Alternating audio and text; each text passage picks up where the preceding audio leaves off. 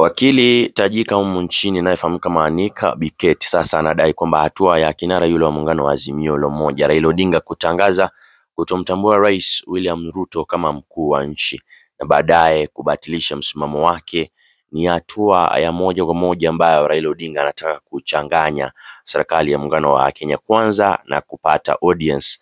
Raila kabla mtazamaji kusafiri Afrika Kusini alikuwa amewasii magavana na viongozi waliochaguliwa chini ya kambi ya Azimio kufanya kazi na Rais Ruto na serikali ya kitaifa, lakini baada ya kurejea humo nchini na kurudi eh, kwake kulingongana na ripoti iliyodaiwa kutoka kwa mtoa taarifa mmoja almaarufu kama whistleblower, alafu hili liliweza kumfanya kinara huyo wa muungano wa Azimio la Umoja kutangaza kwamba hamtambui Ruto tena kama rais wa taifa.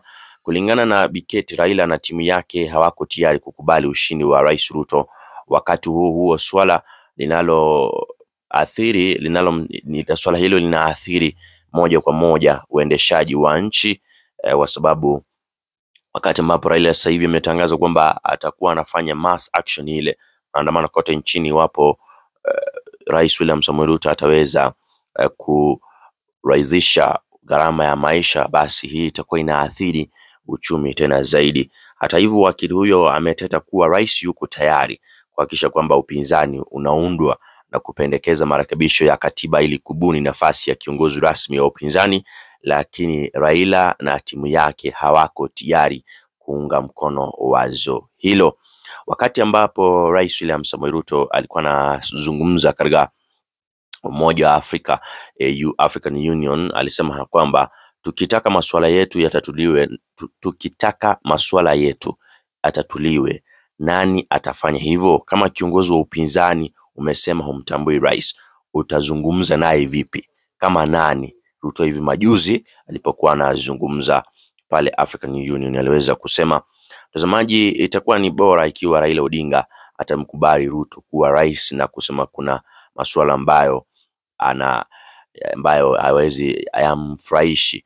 Rais amekuwa muwazi sana kukosolewa na hata kupandisha daraja kuwa mawaziri wake wafike bungeni, lakini Raila hataki. Rais hata ameonyesha nia yake ya kuas, kusaidia upinzani, lakini upinzani hawataki hilo, badala yake wao wanaenda mitaani ili kufanya marali. Mtazamaji, wazo lako ni lipi kuhusiana na madai haya ya wakili ambaye anafahamika kama Biket ambaye amesema kwamba Rais Uhuru Kenyatta yuko tayari kabisa kumpa kazi Raila Odinga, lakini Raila Odinga na kambi yake hawataki kusikia hilo. Hiyo ni kama wameweza kutia masikio yao. Kwa narejea taarifa zingine, usikane mbali. Hii ni Iran Media, zidi kusubscribe.